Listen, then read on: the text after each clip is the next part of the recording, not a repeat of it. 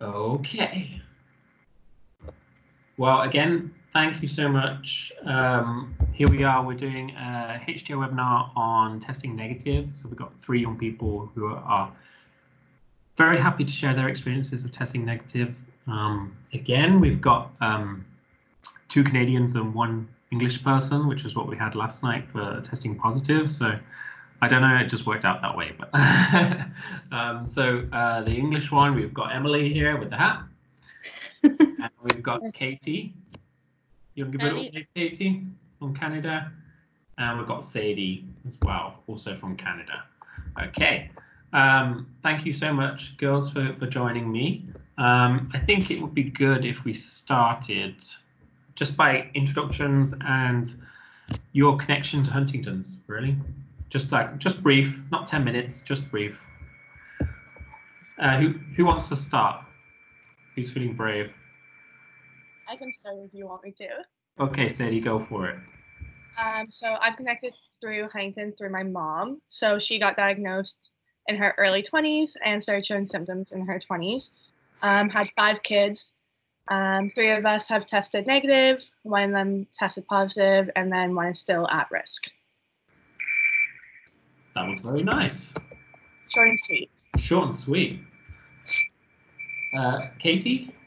Yes. Uh, my mom is positive. Um, I had three aunts that were also positive. Uh, my grandfather was diagnosed with Batten's. Um, that was a long time ago. um, I tested negative, and I have a brother who hasn't been tested yet. Okay. And Emily? Uh, so my gran had it, and I think her mum did, maybe, and her brother definitely did. And now my mum's got it and has had it for about 12 years now. And then, yeah, so I've tested negative, but my little brother hasn't been tested yet, as far as I know. Okay. Thank you, everyone. Um, so, how old are you all at the moment? You're you all still look fairly young to me. How old are you all at the moment?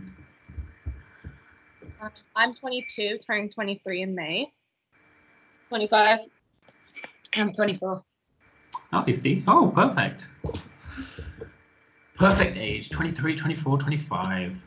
Okay, I'm not jealous at all. um, so, how old were you when you um, decided that you wanted to get tested then? Or I was. I started the process when I was young and a bit naive, and I didn't necessarily realize what comes with testing. I tried when I was 16. Obviously, that didn't go very well. Um, and I fell through with it when I was 19, I do believe. Okay. Uh, I only found out I was 23. I just turned 23. So I started the process about, yeah, about a year and a half ago. Yeah. Um, I started the process when I was 18. That's when we can do it in Ontario. So I went to my family doctor and they sent me to a referral and then I went to the the hospital in London and then took six weeks and then I found out then. Okay. Um, so Katie, you said that you tried when you were 16. Uh, what happened when you went when you were 16? I'm guessing they, they turned you down. Um, yes. Um, but I was also pregnant at the time. Okay. Uh, so I could have um, followed through with it. Um, but going through with it while pregnant, you obviously realize if your baby has it, then there's a positive test for you, and it probably wouldn't have been a good idea at the time for me personally. Yeah, it was a difficult time. Yes. Hmm. So you chose a later time to do it. Yes. Yeah. Okay. Um, so what made you all want to get tested then? I don't really know. So I thought about it when I like when I found out my mum was sick. That was how old was I? Just turned thirteen. So it's always sort of been a bit on my mind, but I was not really sure. Then obviously it got to eighteen, and I was like, oh yeah, I can do it. And I was like, actually, no, I can't. I can't. What the consequence might be. Mhm. Uh, so I didn't want to for ages, and then I realised like actually there's a lot of my best mates they're like emily you're living your life as if you've got it like you're making decisions and you're making choices about you know, like partners, life, careers, as if you're you've got a diagnosis but you haven't. And I was like, actually, that's a really good point. I was like, I just need to know, and so that's why I want to give it. Okay. Uh, Sadie? Um, I personally always wanted to figure out if I had it or not. Um, ever since I was young and introduced into like the Huntingtons. Um, so when I turned 18, I decided I wanted to do it because um, that's when I was going to start my university, figure out what I wanted to do for a living. Um, I always wanted to be a teacher, but if I had Huntington's, I would have changed my career path due to the long six years of university and then trying to find a full time job. I don't think it would have been suitable for me to become a teacher and all that. So that's why I decided to get tested. And then I found I didn't have it. So I went through with my original teaching plan. Katie? Um, I just with every twitch, I it crossed my mind every time I drop something, every time, and I let it take so much from me already, and I just, you know what, might as well get tested. So then when I do twitch, I'll know for sure if I have a reason to worry. After you get tested, it still takes a while to realize that you don't have to worry though. So with the twitches, still came that instant ping of, uh oh, and then you kind of have to reassure yourself that, oh wait a minute, you got tested, you're fine. it's funny how the mind plays with you like that, isn't it? Mm. Um, well, speaking about how you found out, then, uh, so what was your testing experience like, and how did you react when you heard those those words that you were negative when you found that out? Who wants to start? Oh well, that's fine. Go on so I didn't really tell anyone at all that I was doing it. Mhm. I actually I told my housemate, but that was about it. I didn't didn't talk to my family, didn't talk to anyone. Um, and so I went to all my appointments on my own. And then the, the genetic counsellor, she was lovely. She's like, Emily, bring someone with you. You can't keep coming on your own. I was like, but I'm happy. Like this is this is how I feel. Well, this is how I feel comfortable.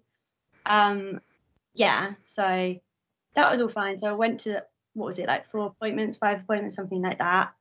And then obviously she gave me the news, and I was like in shock. I was like, what? Like actually, I caved. Well, I didn't cave in, but I did actually bring my housemate, I think, to that one because they were like literally. The final one. Pardon? The final one, the results. Yeah, the results Mm. because they were like, you have to bring someone, or else we're bringing someone for you. I was like, okay, I'll bring someone, which is totally sound. Like I totally think that was the right decision. But um, so I just sat in there and they said it, and I was like, what? Are you sure? Do you need to double check? Like, do, do I need to give you some more blood? Like, ideally not, because it's not very nice. But if you need more blood, like, I'll do it. Like, are you sure? And she was like, yes, it's okay. And I was like, oh. And I literally just walked out and like in silence. And my housemate's like, you okay? I was like, yeah. And it was just very weird afternoon. But yeah. But yeah, I was I think I was in there for like 10 minutes. It was very short and sweet. They were like, you're fine. I was like, oh, bye. yeah, that was me. Okay, thank you. Uh, who wants to go next? I can go like. Okay. Sadie? So, um, we were in a. fo- I'm in a foster home with the two other sisters of mine, and I took my foster parents with me because they've been through it all with me, with the ups and the downs, and they understand Huntington's, which was really great. So we went into the office, and I was terrified. I was preparing myself for the worst, and then they opened the envelope, and they were like, "Nope, you're you're all right." So I just broke down crying. I think I was crying before they even opened the envelope. I didn't really understand what they said to me, and then my parents were like, "No, like you're fine, Sadie, you're fine." I'm like, "Oh, I am fine." So then I told all my family. I have a really good support system with the family around me, so we celebrated, and that was good. Good. Katie? Um, l- looking back, um, I, I decided to get tested at a kind of uh, rough, rough patch in my life, I guess you could say. Um, the process was the closer you get to my results day, was the scarier it was, I guess, and I decided to try and convince myself that it was positive. So then if it was positive, like I wasn't sitting there for six months because it's three appointments and then you have your results appointment. Um, so convinced my tried to mess to convince myself it was positive and then got the results which were negative. Um, people say it's a whirlwind of emotions, but you don't really kind of understand until everybody always said you're not gonna jump up for happiness probably and I cried myself too and it was a weird afternoon. I kind of felt like I was on autopilot. It was good news though. I told my mom I was healthy and my son Chelsea was great. It was weird. It was surreal. Interesting, because I um, I I tested positive many years ago. Um, so I don't have that. I don't have the experience of testing negative and how that what that kind of feels like. And I know that a lot of people say it's not the big kind of celebratory thing. You know, it's good news, but it, it's it's not kind of like you know party time kind of stuff. But uh, it sounds like you all kind of just were kind of shocked by that, getting that uh, results. Is that right? Yeah. Yeah. I think lots of it too is, especially for those who have siblings and stuff, um, you just don't know, right? And you, that's like for me, where, where I have a brother who's not going to get tested, it's like only half, like only one of us so far are safe. So it's you win so much of the battle, but you still have more to fight, I suppose, I guess. Yeah. Um, Yeah. being the second one tested from the family, it was really tough. As my older sister, she was tested um, negative and she didn't have it, and then so was I. And then um, Parker got tested and he got tested positive, and it was really tough on me because I felt like I was at ease, and then now I have to worry about him, and then it's just that survivor's guilt, knowing that yes, I am free, but it's still in the family, and we still have to worry about it all. And how long? How long did it kind of take you all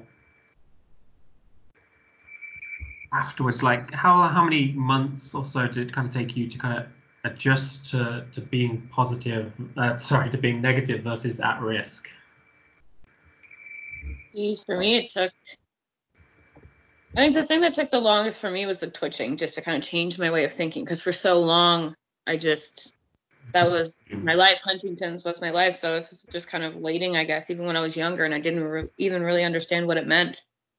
Um, that's your mom, right? So when you're growing up and she's moving and stuff, um, that took the longest for me. I think it's probably the last thing, and I still find myself when I drop something sometimes. So like I'm still kind of slowly adjusting in small ways, but about a year or so, maybe, maybe more.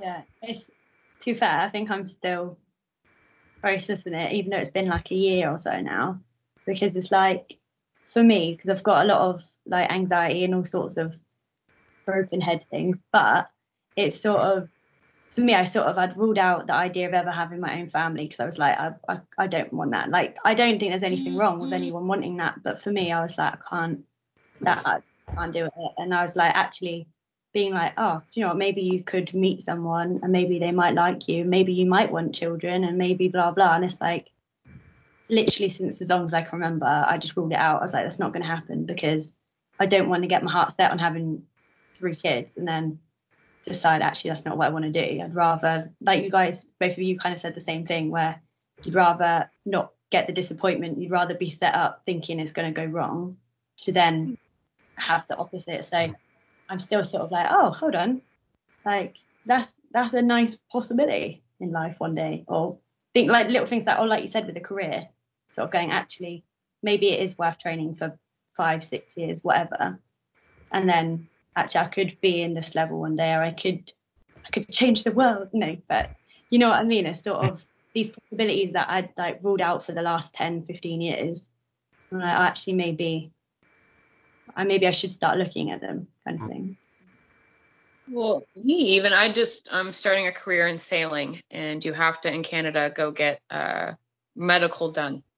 And I forgot about the stigma that comes along with having a sick parent. And where I'm negative now, to be honest, this was the first time that I ever didn't have to think about Huntington's on the back burner. And he asked, and I just like word vomit. I said my mother has Huntington's, which to be honest, I probably shouldn't have said because then he proceeded to tell me that if I did have Huntington's, I could still be a sailor, but my career and yada yada yada. I'm like, no, but like I'm fine. Like you kind of so it definitely makes a difference, and I still find it sometimes I'm adjusting. I feel like I'm always adjusting still. Like I have my results posted on my wall just for those bad days. If I am switching, if I'm slurring my words, I have to make sure like, okay, these are my results. I'm good. There are some days I call my sisters and panic. I'm like, oh my gosh, I think I have it still. I need to go back to get my blood again. They're like, Sadie, you're fine. I'm like, but like I'm like twitching a lot. They're like, it's okay, like it's natural. So like it's always like I'm always adjusting, I find. And um, something we were discussing yesterday with with Parker, um, who went in very different to me because I went in thinking, okay, I'm going to be positive, and if I'm negative, then then that's good. But if I'm positive, then I should probably prepare for that because that's the worst one in my opinion. Um, and you know, uh, your brother Parker just kind of had an attitude of, uh, I, I'm going to be negative, and you know, not not really worrying about it, and kind of. Um, I was just wondering, kind of, what you girls uh, were thinking when you went into that testing. Were you thinking I'm going to be negative, or were you thinking probably going to be positive? Oh, I thought I was going to be positive, and then I thought, how am I going to tell my family? Oh. And I, because I, because I didn't bring them, like I said, I didn't bring them with me. I didn't tell them I was getting tested, and to be fair, I was a bit sneaky. I didn't even tell them my result until about a week after, because I thought it's something I'd like to do face to face. Like even though it's good news, but I still doesn't. I feel like I shouldn't really text it. You know what I mean? Yeah. So, um, but I think that was the biggest thing for me going in was sort of all the how am I gonna. I mean, I'm not gonna lie. There, I haven't even told most of my friends, so they might find out when. so watch this. Sorry. so, okay. yeah. It's not bad news for them. No, no, exactly. yeah. I also went in thinking I was positive. Um, there was like a six week time where I took my blood to getting the results, and every night I lied awake crying because I was like, oh my gosh, I'm gonna be positive. Every twitch, every slur, I was like, oh no. I was preparing myself for the worst and like changing my career path. I was adjusting to thinking I was positive before I even knew the results. So, but I went in with the support, and like I think that was really helpful for me having my support system right there. I also went in thinking I was positive, um, not only because I just wanted to brace myself. Um, the process is a long one, and I find the days get longer the closer you get to your results appointment. And then when you get your blood drawn, the wait from your blood drawn until you get that date is obscene. And so I definitely prefer, I did have a solid support system. Um, but no, yeah, I definitely went in thinking I was positive. Yeah, I, think most people do, but there are those that don't. Uh, as we was talking with Parker last night, but there are there are many that don't, you know, go in thinking that they're going to be negative. Um, My uncle was convinced he was negative. yeah, I- it, it's just I think it's also a coping mechanism, mechanism of some sort when people are going through testing. I think it's also their way of coping with it as well. Um, yeah. Um, so I was just wondering, listening to you talking there, Sadie, when you said that you tested um, negative, and now you kind of you felt if you test positive, you wouldn't go into teaching. Um, I was wondering if you did test positive, what do you think you would have done then? Do you think you would have eventually gone into teaching, or would you have stuck to that and, and tried to do something different? Or- Um, I always had my mindset on if I did test positive, it'd be a desk job, get somewhere that would get benefits, like so I could get a two-year diploma, have a job right away. Just because with the teaching in Ontario, it's insane to get a full-time job. Um, and then with mom having her symptoms show at like early 20s, I knew that like if I was test positive, my symptoms would show roughly the same Okay, age as if. Hmm. That seems fair enough. Um, so I think also, Emily, when you were saying about not not telling your family, I, I think this is also something that a lot of people do, um, or they really struggle with the idea of telling their family. Um, I know I did at first. Um, my first thought was not to tell my mom because I just thought I would be a burden on her. She's looking after my dad and stuff. So, uh, and eventually I did when I kind of started the process. I did tell my mom, but um, and it felt better for that. But um, it's it's difficult, isn't it? Because you don't want to. You feel like you're putting a burden. You're putting more on the family when it's already being kind of stretched. Um, so it's quite kind of interesting that people kind of think, no, I'm not. I'm going to do this on my own. I'm stubborn. but I know at the, at the time my dad wasn't very well either, and obviously mum being yeah about ten years in at that point, I was like, no, it's not. Like I'm not putting any more stress on them. I was like, I'll deal with the result when we get there. And in, in reality, I would have told them regardless of the result. But I was like, no, I'm not putting this six months or however stupidly long the process is on them. Because I was like, like I said, I had my housemate who was amazing mm. and sort of, you know, yeah. distracted me with lots of like Mario Kart and stuff. But, but yeah. Well, that's good. At least you know it is important that you have someone. I think at least um, that you're not just going solo. Um, so, how are you girls feeling now? Um, have you kind of adjusted to to being negative? Um, how are you feeling? Feel good. and like I'm doing, so I work for the prison service, mm-hmm. and in the kind of job where I, I mean, I don't know because I haven't looked into it, but I know a lot of the kind of police, prison, army, all the kind of stuff that kind of interested me. In reality, with a positive result, may not have been even an option. Mm. That, um, even if it was like I might not be symptomatic for another 20 years, in reality, as soon as they see that, you know, those three letters saying yes, you know, that you've got it, I was like, so in that sense, it's been quite like not good because suddenly I've got all these well, I say all these options. You know, I still can't fly a plane or anything because I'm scared of flying. But like you know, there's, there's a lot more options that I feel are available that I didn't even consider really before because I knew I would have to have a result for it. And um, I even remember calling that army, talking about it, and them saying, we can't make you, but you would need a result really for us to take your application further. Well, it turns out now I really don't want to be in the army, but at the time it was sort of that kind of thing. That's what the army do. At least yeah. the one in, in the UK, they they ask people at risk to get tested, and, and it's very it's very annoying. um, it is something that um, people have been trying to change, but you know the army's the army, so they do what they want really. But but yeah, it's a bit strange. Yes, I've got all this like in that sense. Obviously, it's great, but obviously, like I said, like it sounds like the other two. Um, I've still got an at-risk sibling, so it's sort of you you have that really positive sense for yourself. But at the end of the day, I'm like, my mum's still very poorly, mm. and I don't know the outcome for my own brother, let alone you know possible future nieces and nephews, you know what I mean, or that kind of thing. Yes. So it's sort of like I know everyone sort of said this, but it's like you are happy, but it's slightly overshadowed with the yeah, but we're not we're not out of this. Like it's still maybe my direct bloodline is out of it, but not from the you know not already existing kind of thing. So it's a, it's a weird one. it's weird. Katie, what about you? How are you feeling?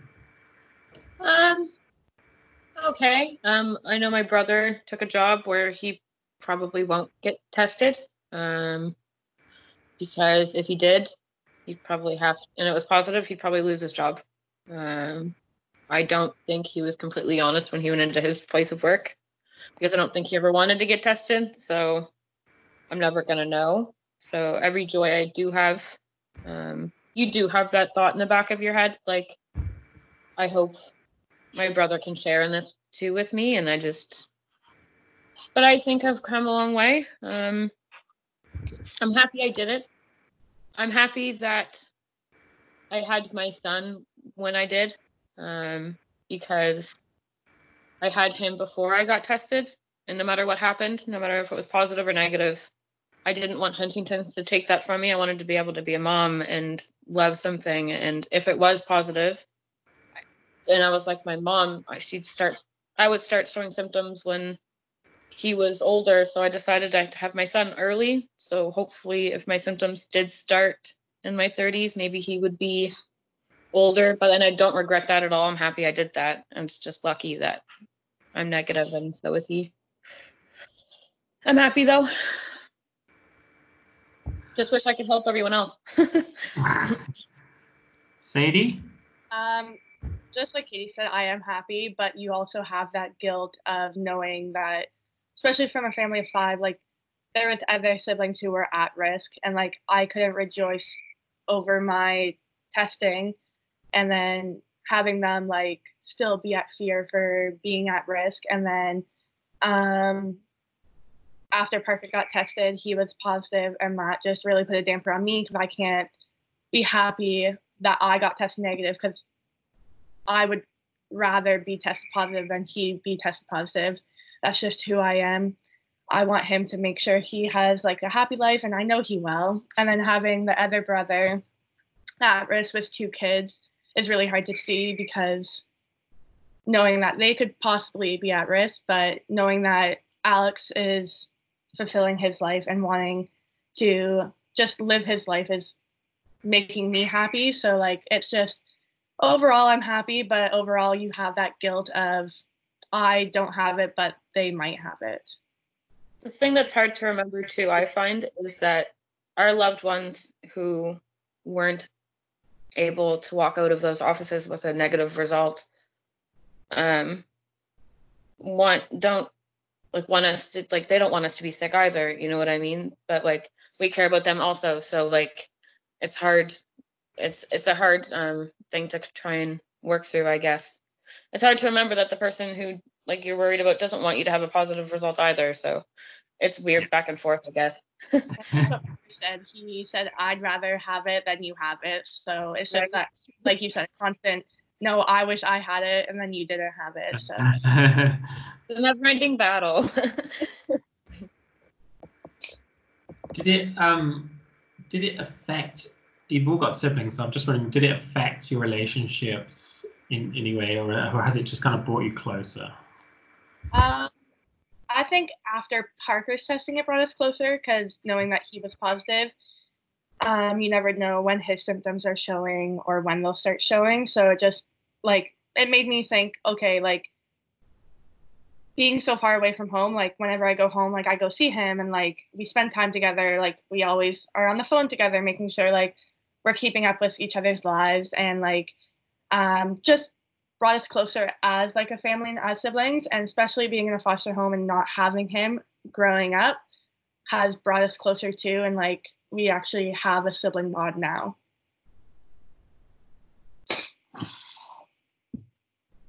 Um me and my brother haven't had a relationship really for 10 years. Um, we kind of fell off even before I got tested um, for reasons completely different. Um, I did send him a message to let him know I was negative, but we never, it definitely didn't bring us closer. Um, Huntington's kind of didn't do much to bring my family closer as a whole, though.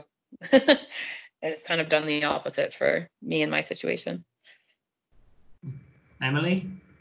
Uh, I don't think it necessarily brought us closer, but he was really happy. And like me, me and my brother are like so close. Like we're really, really close.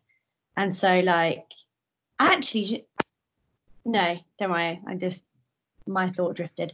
But um, but yeah, but it was really, really nice. Like he was so happy and yeah, my family like woohoo in the car because I told them in the car. I don't know why. Like, like oh yeah, I'll wait. I'll wait until you know an appropriate moment. So I decided to wait until the car.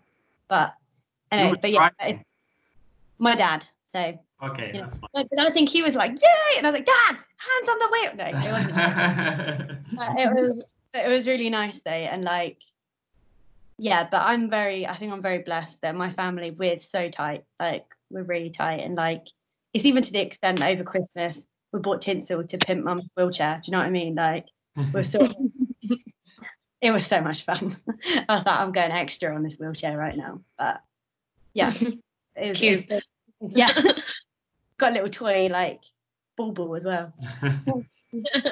Well, Christmas is over now. I'm sorry to tell you. i'm gonna have to start getting ready for next year. you walk tinsel Feel that idea. can decorate for Easter. Easter eggs are out in the shops now, so Easter's coming. Um, so, okay, last question. Uh, what advice do you have for other young people going through testing? my advice would have to be um, everybody kept told me telling me that it's a very personal decision and you only know you'll know when you're ready. And i thought i was ready and i felt like i was ready but even through the whole process i kept questioning myself am i really ready? Because like it's not something you can go back on. But i knew enough that i didn't stop the process. So you really do know when you're ready. Um, have a good support system and prob- don't go to the last appointment at least by yourself because I know there's lots of people that do want to go. It's hard to tell people. It's hard. People don't know what to say, but try not to go to the last one by yourself at least. That would be my advice. Thank you, Katie. basically i'm going to repeat what katie said um, just make sure you're ready um, don't let anyone else rush it or tell you to go um, but have that sus- support system if it's your family friends anyone make sure you have someone you can lean on because it is heavy news whether it is positive or negative it, it affects you it affects your whole life so